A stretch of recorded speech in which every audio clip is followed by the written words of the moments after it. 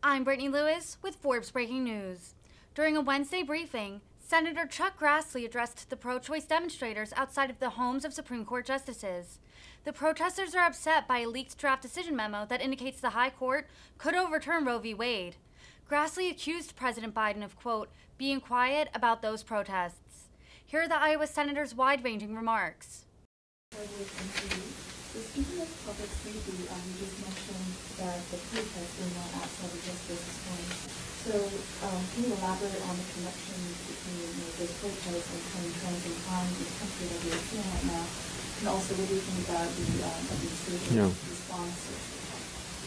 I think it's pretty simple. When you don't control the borders, and fentanyl is just one, fentanyl is just one drug that comes across that border. Uh, comes from China to Mexico into the United States, but other drugs come from other countries across the Rio Grande. And, uh, when, when that happens, uh, it's one thing for people to come to our country violating our laws, but to bring drugs in, it makes every uh, problem for not just the border states, but for all of the states of the United States and the statistics on crime. Her, her question was about the connection between violent crime and the intimidation at the Supreme Court. You sure didn't make that very clear. You, you, you remind, Re- Remind me of a question I got in Medicaid in a town meeting, and I answered it for five minutes. And, and, the- and the woman told me that, uh, that I'm talking about Medicare, not Medicaid. So any of you can stop me if I'm answering the wrong question.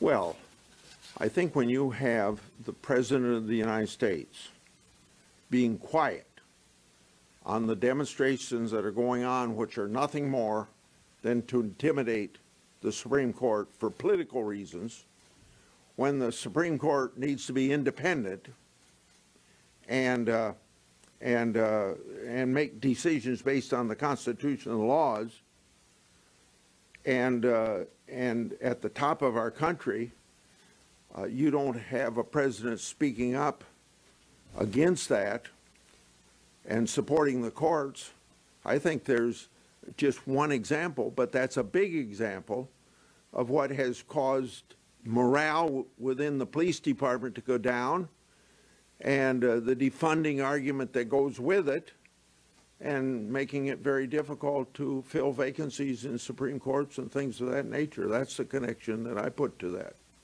Following up on that, um, there's going to be a huge Saturday here in Washington and in other cities in the country. Do you think there could be uh, security concerns that maybe violence could come from these uh, manifestations Well, around the country? That's a, s- that's a question on speculation. I, w- even, even if I was in law enforcement, you might not know that for sure, but they'd know more about that than I do. Yeah. Okay, thank you. Go ahead. The White House has called your investigation into Merrick Garcetti a partisan hit job today. Um, do you have any response to that? And I would like to ask why, um, you know, your Democratic colleagues should trust your report as face value as public interest. Is this on the Los Angeles? Yes. Well, I think first of all, my reputation for doing oversight work, if nothing more. You found out how wrong the Democrats were on that and the, and the Main Street media on that, when for two and a half years, they said our investigation of uh, Hunter Biden was uh, Russian disinformation, and then they ended up being the peddling of misinformation, d- uh, Russian disinformation, and finally the New York Times and uh, and uh, the Washington Post acknowledging that.